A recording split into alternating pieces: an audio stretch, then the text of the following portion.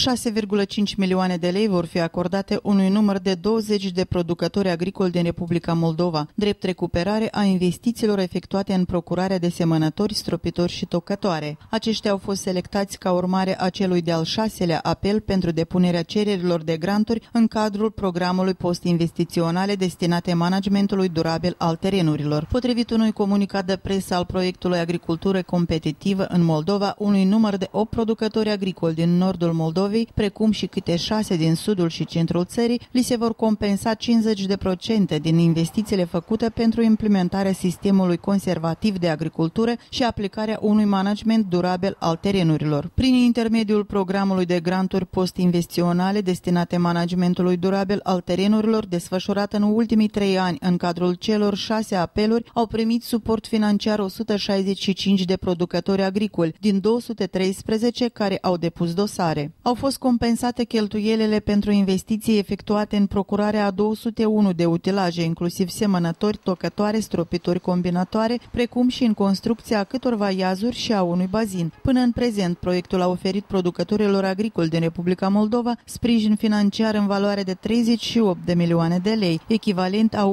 1,9 milioane de dolari. Valoarea medie a unui grant obținut de agricultori reprezintă 232,8 mii de lei. Programul de granturi post-investiționale, managementul durabil al terenurilor, a fost lansat în 2014 și este parte componentă a proiectului Agricultura competitivă în Moldova, finanțat din fondurile Băncii Mondiale, Guvernului Suediei, Facilității Globale de Mediu și Guvernului Republicii Moldova. Din septembrie 2017, delegația Uniunii Europene în Republica Moldova va implementa șapte proiecte twinning noi care fac parte din planul anual de acțiuni Republica Moldova Uniunea Europeană 2013. Valoarea totală a proiectelor constituie 6,85 milioane de euro. Alte două proiecte twinning sunt în proces de pregătire. Până în prezent, Republica Moldova a beneficiat de 31 de proiecte twinning. Asistența Uniunii Europene prin intermediul proiectelor twinning contribuie contribuie la îndeplinirea obiectivelor înscrise în acordul de asociere Uniunea Europeană-Republica Moldova, prin asigurarea resurselor financiare și a intervențiilor de consolidare a capacităților instituționale pentru instituțiile cheie din Republica Moldova.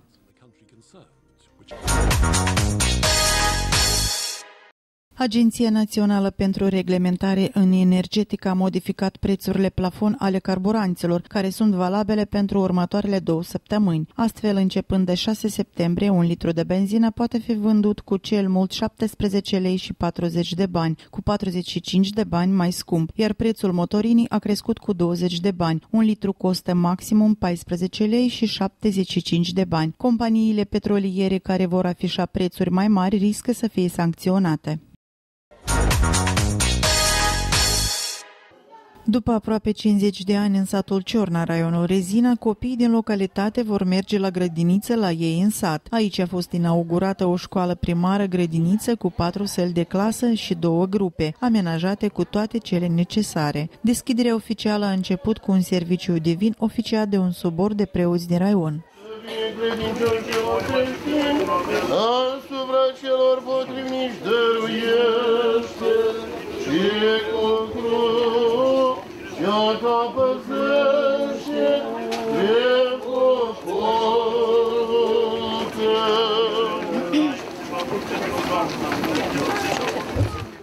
Localnicii își amintesc de acele timpuri când erau nevoiți să-și ducă copiii ani la rând la o grădiniță din orașul Rezina, la o distanță de aproape 5 kilometri. Până acum foarte rău, că trebuie la rezina să-l duci, dar ai scăpat rutieră, ori ceva ai făcut și foarte rău. Copilul pleci, da, aici mai cunoaște, mai cansat. Foarte bine, foarte bine, bucuroasă, foarte bine. La grădinița lângă Univermac se duce, îl ducem cu plânste, plânge, da, aici am vedea azi prima zi, poate să uitați măhaleni, nu știu, poate și geni și nu plânge. Foarte mulțumit, ea că am venit și am văzut, e foarte frumos foarte important pentru satul Ciorna, fiindcă neavând grădiniță, e foarte important.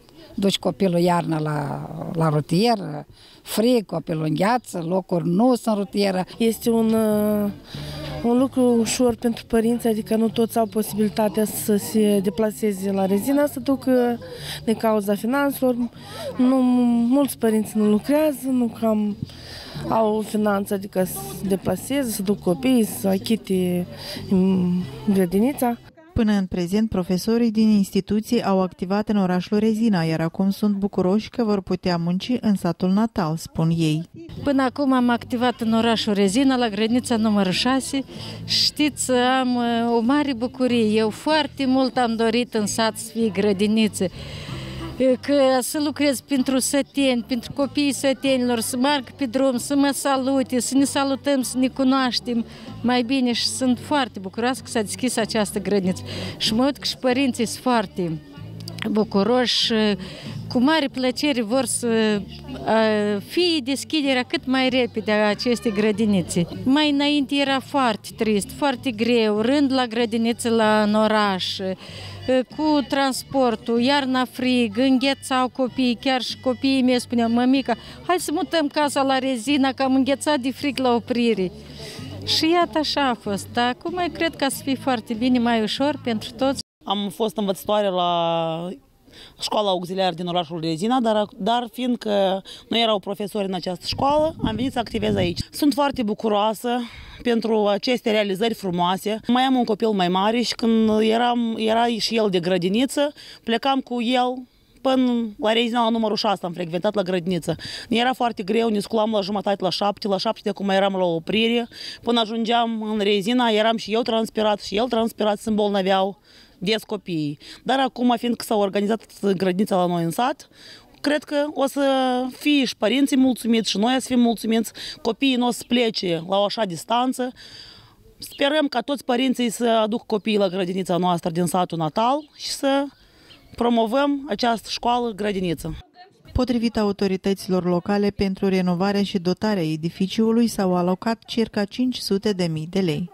Este un eveniment important pentru fiecare localitate, pentru raion, pentru mine ca președinte de raion atunci când avem evenimente de genul acesta, cum avem astăzi în satul Ciorna. Deci astăzi avem uh, deschiderea școlii primare grădinițe după reconstrucție, uh, dar totodată vreau să menționez că în satul Ciorna grădiniță nu a fost de foarte mulți ani. Cred că de cel puțin 50 de ani nu a fost grădiniță în satul Ciorna. Este un eveniment eveniment, în primul rând, plăcut pentru noi ca autorități publice locale că am reușit totuși să le creăm aceste condiții copiilor și părinților ca să existe o grădiniță în localitate și este plăcut acest moment pentru părinți care își au copii în siguranță acasă, creându-le asemenea condiții. Mă bucur pentru faptul că dacă inițial părinții își duceau copiii la grădiniță în orașul Rezina, astăzi la deschidere avem 33 de copii care deja frecventează grădinița, și, dar avem 40 de locuri, sper că ele toate vor fi completate. Este un lucru mare, este un lucru absolut necesar și este un lucru care, de fapt, încă o dată ne determină că avem stabilitate și avem un plan de dezvoltare a localităților. La fel vreau să menționez faptul că statutul acestei instituții s-a schimbat, deci este școală primară grădiniță, avem și copii care frecventează școala primară. Cu siguranță condițiile astăzi sunt cu totul altele decât au fost până la moment. Sunt condiții foarte bune, sunt condiții care Absolut sunt după uh, codul educației și după toate cerințele uh, care au fost înaintate de către serviciile desconcentrate. Aș vrea să apreciez și faptul că, pe lângă faptul că Consiliul Raional Rezina a făcut aceste investiții din bugetul de stat și uh, s-a, deci investiția ajunge la aproape de 500 de mii de lei pentru această instituție. Totodată avem și persoane care s-au oferit ca să susțină și să vină și cu o sponsorizare pentru această localitate. Aș vrea aici să dau câteva nume, fiindcă apreciez foarte mult gestul oamenilor care uh, își doresc ca să vină cu această contribuție, cu această susținere. Nu sunt indiferenți, chiar dacă sunt peste hotare. S-a vorbit și la deschidere despre Valentina Țonici, care și în rezina a venit cu uh, o sponsorizare cu un teren de joacă. Aici, la fel, a venit cu o sumă care a fost donată instituției. Este vorba de de domnul Durnea, de domnul Cuzuioc, deci mai mulți care și-au dorit ca să fie alături de această instituție. Îmi doresc ca și în continuare această localitate să fie unită, părinții să se bucure de aceste condiții alături de copii, iar noi, ca autoritate publică locală, să fim întotdeauna alături, să-i susținem, să-i ajutăm, să-i promovăm și uh, aș vrea foarte mult ca ei această stabilitate pe care le oferim noi să o simtă în permanență. Una din prioritățile direcției de învățământ și în genere a procesului educațional în toată țara este uh, prestarea serviciilor de calitate, servicii educaționale. Și pe acest anume, pe acest principiu prioritar ne-am axat și noi când am inițiat uh, procedura de a deschide grădinița și în satul Ciorna.